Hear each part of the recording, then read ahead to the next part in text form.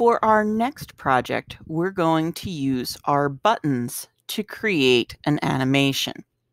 I'm going to start by going to projects and I'm going to grab a new project. So I start with a blank project page. Once I get to my blank project page, I'm going to go ahead and get rid of the on start and forever code that's automatically added up here at the top. So I'm just going to drag these over to my code menu. And when I let go, they'll be deleted.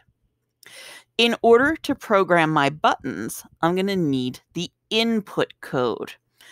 On my input menu, I'm going to get on button A pressed, and I'm going to drag it over to my code area. So, drag over. Now I need to tell it what I want it to do when I press the A button. I'm going to go to Basic and I'm going to get Show LEDs and I'm going to snap it in underneath on button A pressed. For this example, I'm going to make a smiley face. So I'm going to click to select the LEDs that I want to light up when I press the A button. Once I've finished creating my LEDs, I can test it out over on my simulator by clicking on the A button. That should cause my smiley face to light up. Now, this only tells it what to do for button A. We're going to make it do something different for button B. So I'm going to go back to input. I'm going to get another on button A pressed, and I'm going to use my drop down menu to choose button B. I'm going to go back to basic, get show LEDs one more time, and I'm going to make my second image. For this one, I'm going to make a frowny face. You can choose whatever images you would like for your code. As before, once I have finished choosing the LEDs to light up, I can test it on my simulator by clicking the B button. In this case, B gives me the frowny face, and A should give me the smiley face. Now, the last thing I'm going to do is I'm going to create a secret code. I'm going to go back to input. I'm going to get on button A pressed one last time. And if I pull this down, I also have the option for buttons A and B. So this will tell it to do something only if I press both buttons at the same time. I'm going to go back to basic and I'm going to get my show LEDs and I can make it any type of image I want. In this case, I'm just going to make a simple line going across.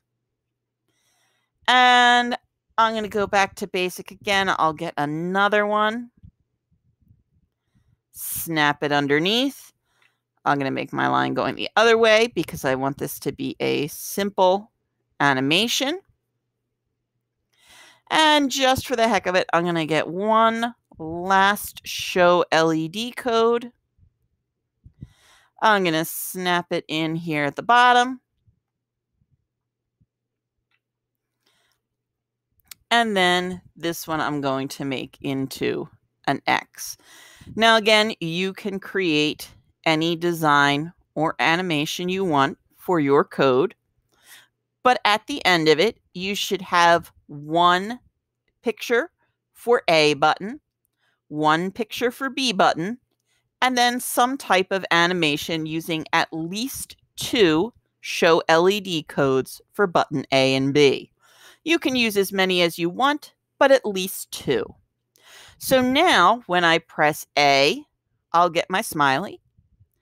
B, I'll get my frowny. And because we can't click both of these at the same time on the simulator, I now have an A and B button down here. When I click on this, there's my animation. On the physical micro:bit, you won't have that A and B button. You'll need to press both A and B at the same time. Before we send it to the micro:bit, we're going to name it And we're going to call this buttons. And then I'm going to go up to share, publish. After I publish, I am going to get my link to my code. I'm going to click the copy button to copy it. Go to Google Classroom, open the assignment.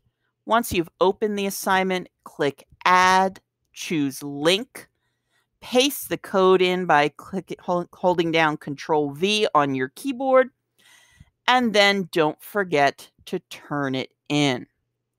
Once you've turned it into Classroom, we can then transfer it over to the micro:bit and test it on the physical micro:bit. Remember to click the download button, and once the file is downloaded, you can transfer it over to your micro:bit.